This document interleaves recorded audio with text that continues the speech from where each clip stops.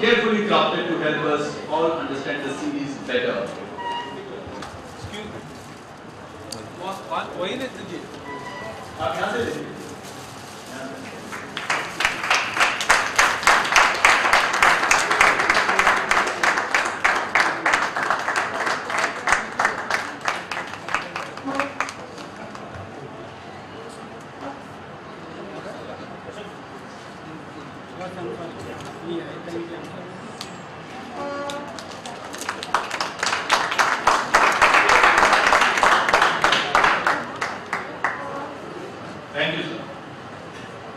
The evening is progressing with full artistic fervor, to which he has been so closely associated.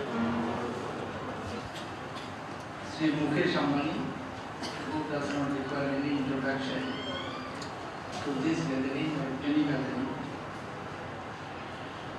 Sri J.K. Shroff, Chairman, Rural India. Painted Sri Shubhasa Ghosh, distinguished members of the audience. We are assembled here just to see the paintings of an artist who has on artier occasions also practically when he was a student, art student, he had his first exhibition, sometimes solo, sometimes in collaboration. And like a true artist, his painting depends on his mood. As I had the privilege of knowing him practically since his childhood, that's why when he completed this series,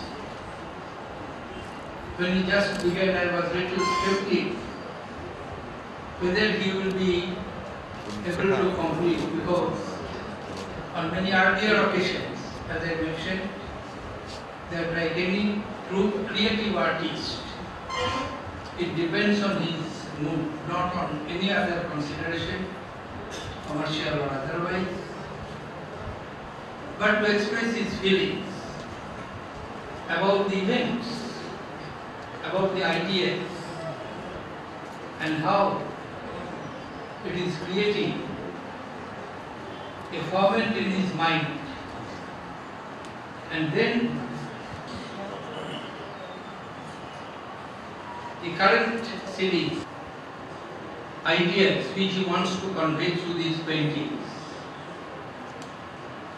is some sort of infirmity, some sort of disability. Of course, this is not my domain, I am frankly admitting it. Like any other ordinary viewer, I like to enjoy the paintings when I get the opportunity of viewing it and musing on it. But to analyze the merit, the subtlety, and particularly how it reflects, I would not like to venture in that area. Surely that is the domain of the professionals. But this much, as a layman, I can tell of life, which is unique in its character. And once Rabindranath Tagore, who was not only a great poet but also a painter,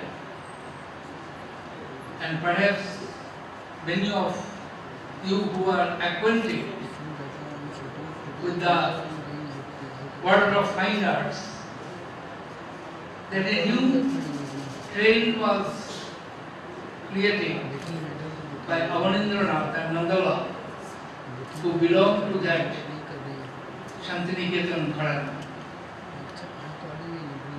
Once Rabindranath described the painting, the artistic creation, by saying that there is a difference between a photography and a painting.